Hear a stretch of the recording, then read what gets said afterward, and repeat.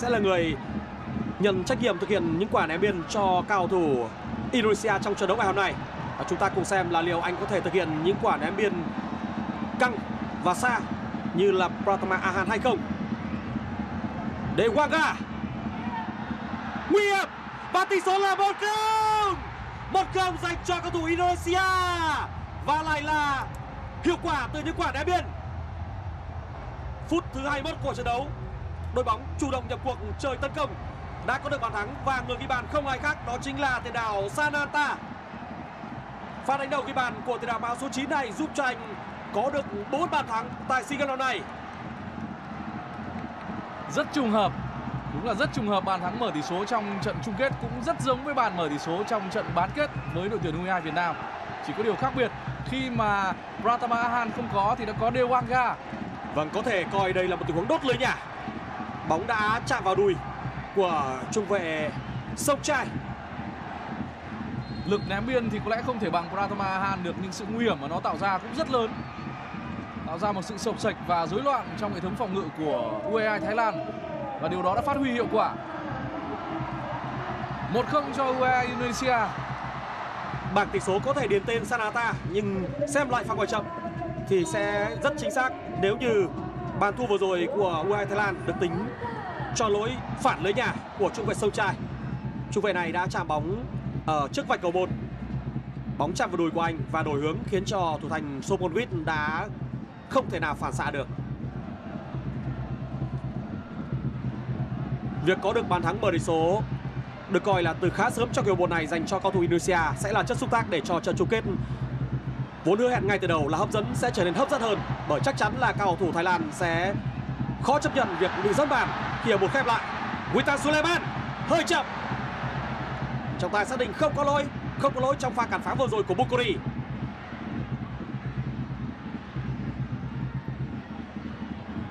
Chanarong Bukori Không được Pha phá bóng an toàn của trung vệ của bằng Trisnanda Đây là lần đầu tiên U22 Thái Lan của huấn luyện viên Sitaro bị dẫn trước tại giải đấu năm nay. Và chúng ta sẽ cùng chờ xem phản ứng của U22 Thái Lan là như thế nào. Trong khi đó thì cả 6 trận đấu của U22 Indonesia ở giải đấu này họ đều dẫn trước Và 5 trận trước thì họ đều đã thắng.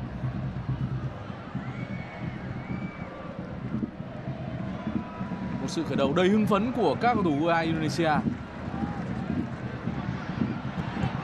Và chúng ta cũng ờ, thực sự bất ngờ khi mà Pratama Ahan không xuất hiện ở trên sân. Nhưng bàn thắng mở tỷ số vẫn rất phong cách. Phong cách ờ, vẫn rất giống những pha ném biên của Pratama Ahan.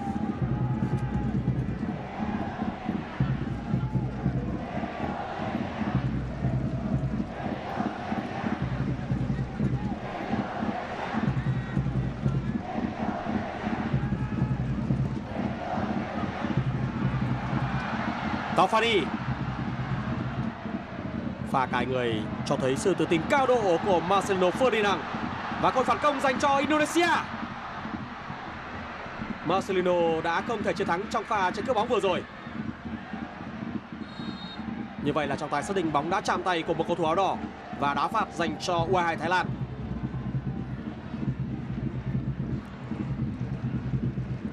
Hàng phòng ngự của U22 Indonesia không phải là không có những lỗ hổng bằng chứng là hai lần vươn lên dẫn trước.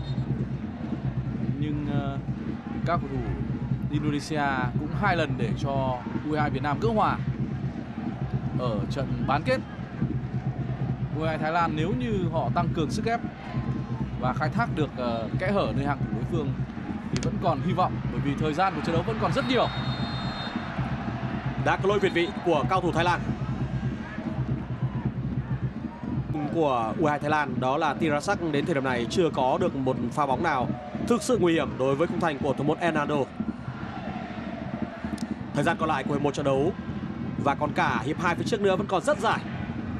1-0 chưa phải là một tỷ số khiến cho cao thủ Thái Lan gặp phải quá nhiều khó khăn. Nhưng họ sẽ cần phải đặc biệt cảnh giác vì nếu dâng cao tấn công và để hỏng hàng phòng ngự, khi đó khả năng phải nhận bàn thua thứ hai sẽ là rất lớn và nếu như để cho Indonesia dẫn trước với cái biệt hai bàn, thì khả năng để lội ngược dòng của u Thái Lan là vô cùng khó. Efandolo đá phạt cho Thái Lan. Cầu thủ Indonesia pressing liên tục ngay bên phần sân đối phương. Họ khiến cho những pha triển khai của U22 Thái Lan ngay từ bên phần sân nhà cũng đã gặp những khó khăn. Lỗi của Tao Fani.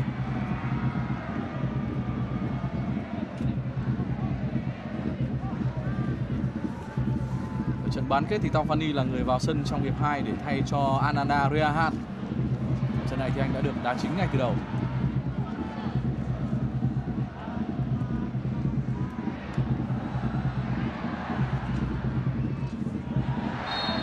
Quả đá phạt cho các cầu thủ Indonesia sau pha phạm lỗi của Jonathan Kennedy.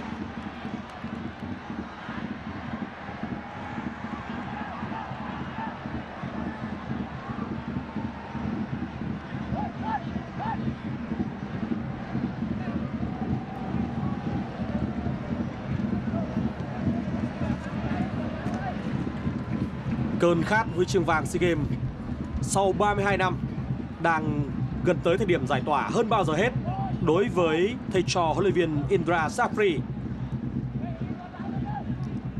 Các cầu thủ Indonesia họ sẽ cần phải thi đấu tập trung và cảnh giác giống như khi chưa có được lợi thế dân bản.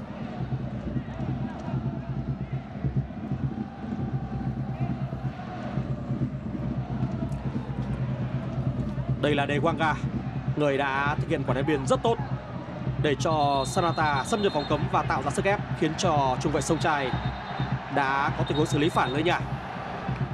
Đã có va chạm xảy ra và trong tài người Oman ông Kasim đang phải tạm dừng trận đấu để nhắc nhở các cầu thủ hai đội. Cũng dễ hiểu thôi, bởi đây là trận đấu cuối cùng trận chung kết tranh huy chương vàng nên những va chạm và xích rồng này là điều khó tránh khỏi. Và hai chiếc thẻ vàng đã được rút ra cùng cho hai cầu thủ mang áo số 4 và đều là các trung vệ. Jonathan Kennedy của U22 Thái Lan và Komang Trisnanda của U22 Indonesia. Như vậy là đến lúc này trọng tài người Oman, ông Kasim đã phải rút ra 4 thẻ vàng ngay trong hiệp 1. Để Wanga, nguy hiểm. Bóng vẫn trong sân pha ra. Pha ra. Pha ra đã liên tiếp thực hiện hai động tác giả nhưng không thể vượt qua được các cầu thủ tham gia phòng ngự bên phía U2 Thái Lan.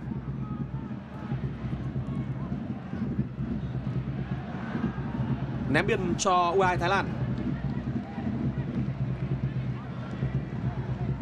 Sau động tác giả đầu tiên thì pha ra hoàn toàn có thể tạt bóng vào. Thế nhưng có lẽ anh muốn thực hiện thêm một động tác giả nữa để có thể tạt bóng bằng chân thuận của mình.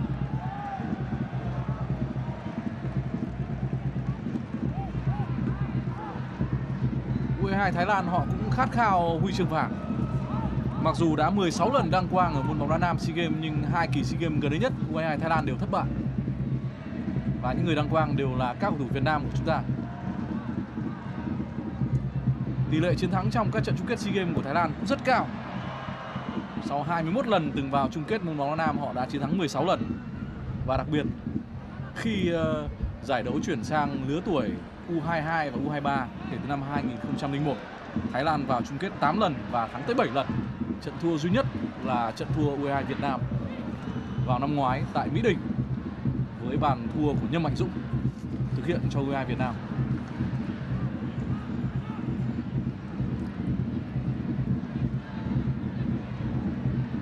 Marcelino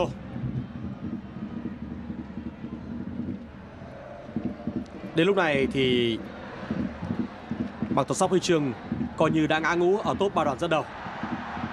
Đoàn thể thao Việt Nam của chúng ta đến thời điểm này đã có 135 huy chương vàng để yên tâm kết thúc SEA Games 32 tại Campuchia với vị trí nhất toàn đoàn.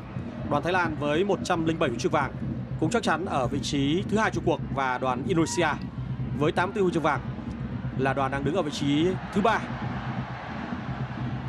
Chủ nhà Campuchia với 78 huy chương vàng chỉ có được thành tích thứ tư chung cuộc trên bảng tổng sắp huy chương.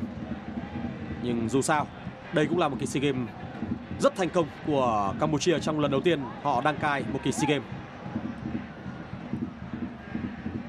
Các vận động viên, huấn luyện viên, các trọng tài, các quan chức, các phóng viên đánh giá rất cao về công tác tổ chức của nước chủ nhà. Thái Lan có liên tiếp hai sự thay đổi người để có thể hy vọng thay đổi được cục diện của trận đấu. Anan và Phong Sakon là những người vào sân. Như vậy là Bukori cùng với Ashipon là những người sẽ phải rời sân để nhường vị trí cho Phong Sakon